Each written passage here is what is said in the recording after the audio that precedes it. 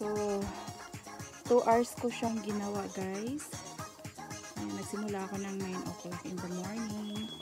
And check this time is 11 o'clock in the morning. So, 2 hours ko siyang ginawa. At yan. Ganda na siya guys. Eh, bubungkalin na lang yan mamaya. Wala na akong time. Kailangan kong magluto. Garden ko. Dito yung isa. Dito yung isa. Ayan. At yung luma kong garden nandoon, tinaniman ko na rin. At yung carrots ko, nandun siya sa taas. Mga kauli. Ipapakita ko pala sa inyo guys yung mga cauliflower ko. Na-harvest na namin yung iba. Pero yung cabbage, meron pa. So, akyat tayo guys.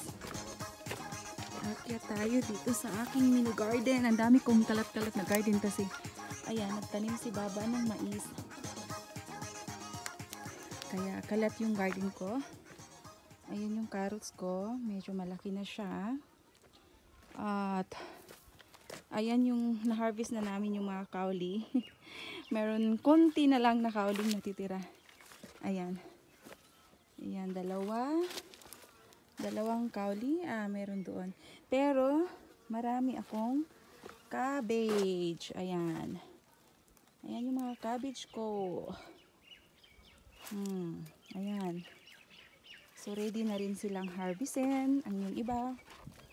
At, ito may malaki akong kauli rito. Ayan. So, ayan yung garden ko nung nakaraan na season dahil dito nga sa Nepal eh, ang mga gulay seasonal. Uh, last 2 months ang pwede mong itanim cauliflower, broccoli, carrots, uh, different kind of leafy vegetables. Pero ngayon, uh, uh, spring na, hindi na siya winter, uh, nagtanim ako ng sitaw, bagyo beans, eggplant, chili, So, ayan yung corn. Ayan yung bahay nung buffalo namin. So, bababa ako ulit guys. Ah, okay. So, ito yung labahan namin dito. At kahapon, binuhat ko yung table. E, nilipat ko dito. Nabuhat ko mag-isa. So, ito pala yung turkey kitchen namin. Ayan. Dirty kitchen namin guys. Kasi sa loob, eh, gas lang ang nakalagay. So, update ko lang pala kayo guys sa yung mga hinakot namin, uh, hinakot nila baba at saka ni Habi na mga kahoy na nakatambak dito sa harapan. Ito na yon. Ayun, nalinis na namin ang aming uh, katero or bahay kasi ito ng buffalo dati pero wala ng buffalo si Baba. So, ayan yung mga kahoy, isa dyan. At, andito yung iba. Ayan. Marami siya guys.